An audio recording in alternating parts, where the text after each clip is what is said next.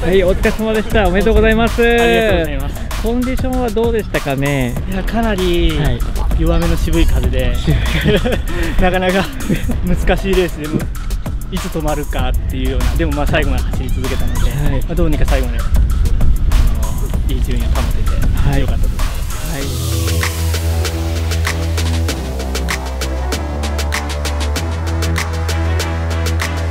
選手の様子とかも見見れましたか？ああもう本当ずっと接戦で、もういつもういちょっと抜かれるかでも止まったらもう抜かされちゃいそうなね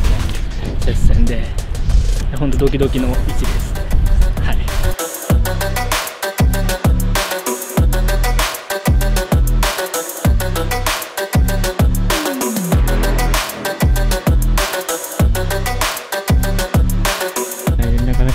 タートが皆さん難しいとおっしゃってますけどどんな感じでしたかね？そうですね。まず飛ばないといけないんですけどもやっぱり風が弱い中で走り出すのが結構漕がないといけないので結構やっぱ漕ぎ出しの差で今の着地が変わったかなと。わかりました。じゃあ明日へのまた抱負をお伺いしてよろしいでしょうか？はい、えっと、明日からは結構風の予報がいいのであのレースができると思うので、まあ、自分のベストを出していきたいなと思います。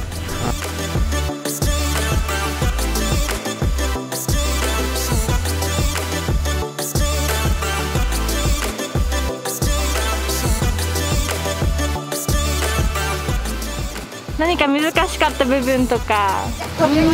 ぶ風が弱かったのとあとメンズとも一緒なんでメンズの方がちょっとサイズがでかいので大変でした。ありがとうございます。明日に向けて何か意気込みとかあれば。明日もちょっと風弱そうなんですけどいいレースできたらいいなと思います。頑張ってください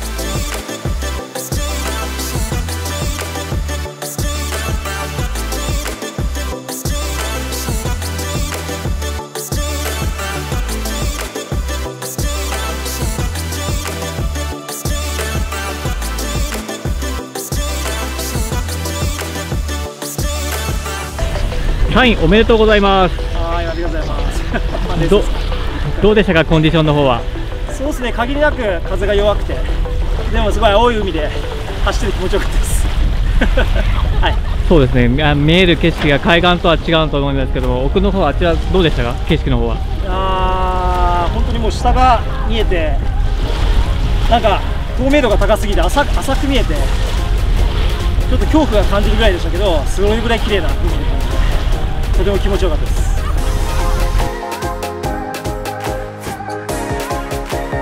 接戦だったようですけども、はい、そのわずかな差ってどれくらいな感じでしたかね？ですね、あのーちょっとスタートが失敗しちゃったんで、そう最初からそのスタートが飛び出ればね、前走れると思うんですけど、やっぱそこを埋めるのはちょっと難しかったですね。じゃあ、えーこれ明日に向けての、えー、と抱負をお願いしますまあ、いい風吹いて、最高の場所なんで、いいレースができること、あとは全力尽くせるように頑張ります。はい。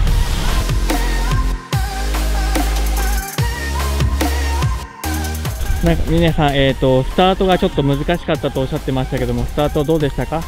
タートは出れたんですけどマーク開口の時にあのチンしちゃって海に落ちちゃってそこで結構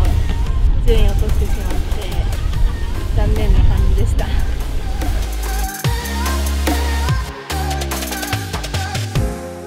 じゃあ、えー、と明日に向けての抱負をお願いいたします。明日は女子の中で一番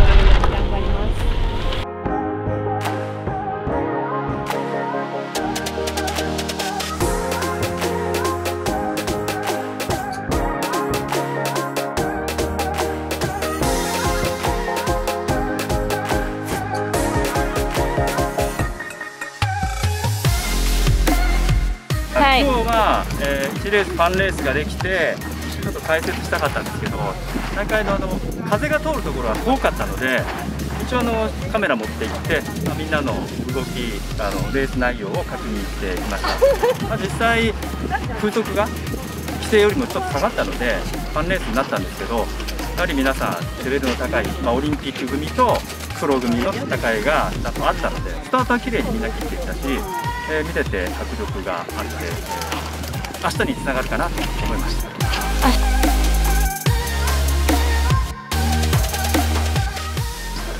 明日はどんな一日になってほしいなって。明日は予報もちょっと良くなってるので、えー、たくさんのレースができると思います。ですのでいっぱいいっぱい見ていただいたり、えー、応援したり、えー、解説できたらなと思っています。はい、はい、ありがとうございます、はい。ありがとうございます。